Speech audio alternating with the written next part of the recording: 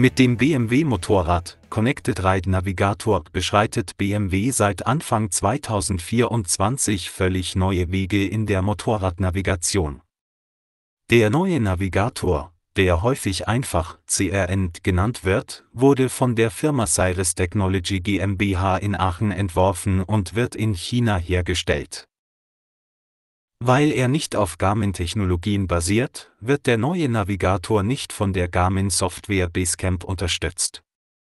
In diesem Video wird gezeigt, wie man in Track of the Day geplante Routen zum neuen Navigator exportiert. Der CRN kann Routen verarbeiten, die als GPX-Track, GPX-Route oder Liste von GPX-Waypoints exportiert wurden. Jedes Format hat dabei spezifische Vor- und Nachteile. Navigiert man mit GPX-Routen, funktioniert das sehr gut, aber es werden keinerlei Zwischenziele angezeigt.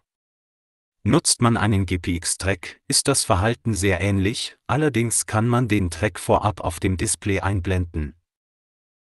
So sieht man im Falle einer Sperrung den ursprünglichen Verlauf der geplanten Route. Das Umfahren von Sperrungen funktioniert mit bei der Navigation mit Routen oder Tracks ausgesprochen gut. Sollen Zwischenziele erhalten bleiben, muss man die Routenpunkte als korrekt sortierte Liste von GPX-Waypoints zum CRN exportieren. Stimmt die Reihenfolge nicht, kann keine sinnvolle Route erstellt werden. Außerdem muss eine solche Route immer auf dem Gerät neu berechnet werden. Hat eine Route nur Start und Ziel, oder gegebenenfalls einige wenige Routenpunkte, wird der Verlauf der berechneten Route völlig anders sein, als man es bei der ursprünglichen Planung gesehen hat. Damit Planung und die berechnete Route so gut wie möglich übereinstimmen, sollten die Routen nicht länger als etwa 300 Kilometer sein und möglichst viele Routenpunkte enthalten. Anders als der alte Navigator 6 beherrscht der neue CRN keine Via- oder Shaping-Punkte, da dies Garmin-spezifische GPX-Erweiterungen sind. Weicht man von einer Route ab, die auf GPX-Waypoints basiert, muss man daher alle Wegpunkte manuell überspringen, wenn man sie beispielsweise wegen einer Sperrung nicht anfahren kann. Track of Day berücksichtigt diese Besonderheiten des neuen BMW Navigators, indem sowohl ein Track als auch eine Route und Waypoints exportiert werden können. So kann man jederzeit selbst entscheiden, welches Format man verwenden möchte. Einzigartig ist dabei die Möglichkeit, eine Route automatisch in mehrere Tracks aufzuteilen. Enthält eine Route beispielsweise Routenpunkte für Frühstück, Mittagspause und einen Kaffeestopp am Nachmittag, kann man diese Routenpunkt im Stil von Garmin Basecamp als Via-Punkte markieren. Ist das Autoshiping aktiviert, wird jeder neue Routenpunkt zunächst als Shiping-Punkt markiert. Fügt man einem Shiping-Punkt eine Pause hinzu, wird er automatisch ein Via-Punkt. Die Regel lautet also, Routenpunkte, bei denen an anhalten will, haben eine Pause.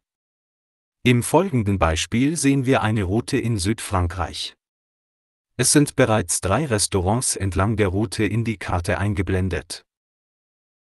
Start und Ziel sind jeweils Hotels, die wir bereits zuvor gebucht haben. Jetzt nehmen wir die Restaurants als Zwischenziele in die Route auf. Das einzigartige Autoshiping von Track of Day bewirkt nun, dass die neuen Routenpunkte automatisch als Via-Punkte markiert werden. Die voreingestellte Pause beträgt 5 Minuten. Wir verlängern die Pausen auf jeweils 60 Minuten und kontrollieren in der Routeninfo die aktualisierte Fahrzeit.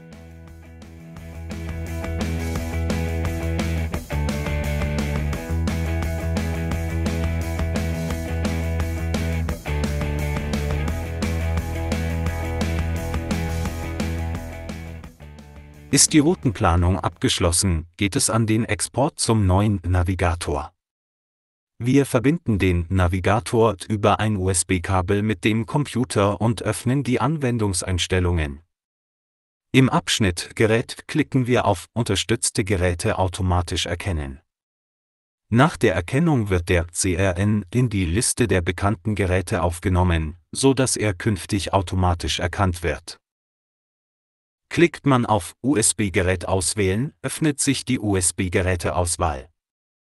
Hier sieht man, welcher Ordner im Dateisystem des CRN ausgewählt wurde. Nun schließen wir die Anwendungseinstellungen. Den Dialog für den Routenexport erreicht man über das Kontextmenü der Routen oder über den Button mit dem Pfeilsymbol am linken Rand der Karte. Es öffnet sich der Dialog für den Routenexport. Hier gibt es zwei Voreinstellungen für den CRN-Export. Routen können über ein Cloud Drive in Verbindung mit der BMW-App oder über ein USB-Kabel exportiert werden.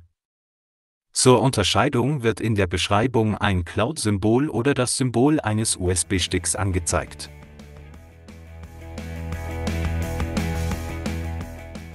Wir wählen die Voreinstellung für den USB-Export aus. Am linken unteren Rand des Dialogs wird jetzt eine Liste der aktuell angeschlossenen USB-Geräte angezeigt. In der Bildergalerie wird gezeigt, wie man eine Route nach dem Export auf dem CRN öffnet.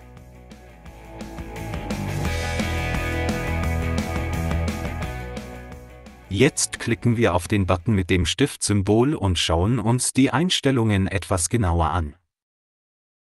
Unterhalb des Reiters Einstellungen sehen wir, dass als Zielgerät USB-Gerät ausgewählt ist. Das Feld Präfix ist leer, beim Exportformat steht Waypoint und Route. Alternativ kann Waypoint und Route AR ausgewählt werden. AR steht in TrackCD für das automatische Auffüllen von Routen mit zusätzlichen Routenpunkten, das automatisch Refinement. Die drei Checkboxen haben ein Häkchen. Dadurch wird vorgegeben, dass zusätzlich zur Route ein Track exportiert wird. Ist die Option Track in Segmente aufteilend aktiv, kann man einstellen, wie das Aufteilen erfolgen soll. Hier ist Track an Via-Punkten oder Pausen aufteilend voreingestellt. Diese Einstellung bewirkt, dass der exportierte Track bei den Via-Punkten aufgeteilt wird, die wir zuvor in die Route integriert haben. Wir schließen den Bearbeitungsdialog für die Exportziele und klicken auf Export. Einige Augenblicke später ist der Export auch schon abgeschlossen. Um zu zeigen, was exportiert wurde, können wir den Exportdialog erneut öffnen und den internen Speicher des CRN anzeigen. Hier ist auch ein Import aus dem internen Speicher des CRN möglich. Nach dem Import sieht man die aufgeteilten Tracks und wie sie locker aneinander anschließen. Hier wird automatisch vom jeweils folgenden Track ein kurzes Stück abgeschnitten, was nach den Pausen den Einstieg in den nächsten Track erleichtert. Ob man die Tracks aufteilt, zur Navigation eine Route oder die Liste der Waypoints verwendet, kann jeder Anwender für sich selbst entscheiden. Die Nutzung der automatisch aufgeteilten Tracks erscheint etwas umständlich, aber man hat die Gewissheit, dass der Verlauf der Route dem entspricht, was man geplant hat. Außerdem wird man alle wichtigen Zwischenziele zuverlässig erreichen und nicht versehentlich daran vorbeifahren. Damit wären wir am Ende dieses Videos. Herzlichen Dank fürs Zuschauen und bis bald.